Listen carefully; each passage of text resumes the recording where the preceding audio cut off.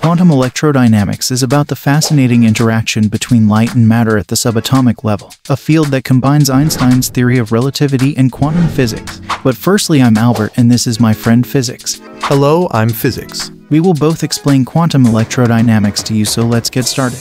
The development of QED began in the 1930s and was significantly advanced in the 1940s by physicists such as Richard Feynman, Julian Schwinger, Shinichiro Tomonaga, and Freeman Dyson. QED is based on two fundamental pillars of modern physics quantum mechanics and special relativity.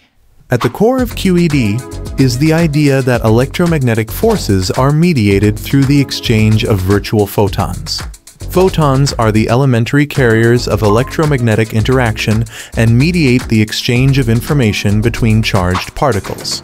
Yo, Albert, do you know what virtual means? Bro, your name is physics, but okay. Virtual particles are hypothetical particles that appear in quantum mechanical calculations or theoretical models to describe the interactions between real observable particles. They are short-lived and only exist as intermediate states during an interaction. Thanks, Albert. Okay, what next?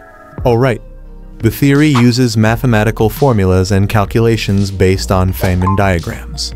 These diagrams visualize and calculate the probability of interactions between charged particles through the exchange of virtual photons.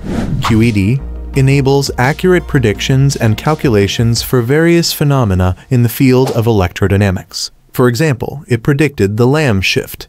The Lamb shift is a very small energy difference between two atomic states in a hydrogen atom and explains the anomalous magnetic moment of the electron. Experimental confirmations of the QED theory are numerous and have contributed to its credibility. It has helped make some of the most precise predictions in physics and plays a key role in describing the behavior of particles and electromagnetic fields at the subatomic level.